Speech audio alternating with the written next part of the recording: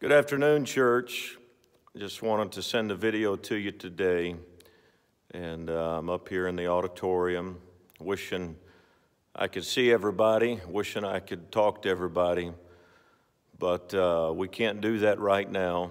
And uh, just wanted to encourage you, let you know that God's got this all under control. I was kind of overwhelmed today with the feeling um, that God has chosen us and God has allowed us to live in this time. And um, I don't think God brought this on, but God is going to turn this for the good of the kingdom. And uh, my prayer is for each of you that you are safe, that your health is protected, that uh, you don't lose your jobs, or if you do lose your jobs, that you're still able to to be okay in this season.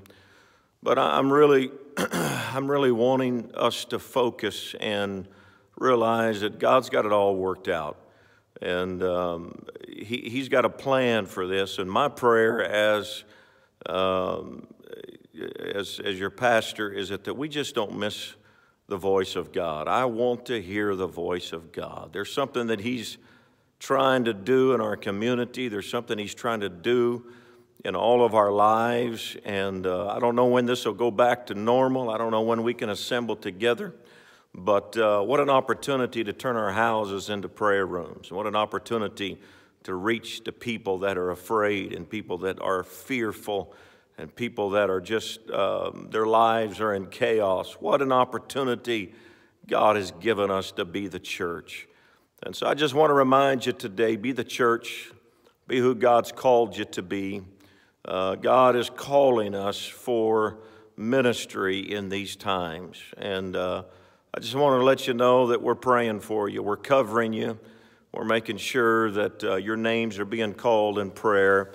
And even though our auditorium is empty right now, uh, I want you to be able to see that your names are on the your names are on the seats, and uh, so we've been praying over your names. And uh, those of you that normally sit in these seats, uh, we're covering you in prayer. So if you need anything at all, please don't hesitate to email or call or text or whatever you need to do. We love you. We're praying for you. Have a great day in Jesus' name.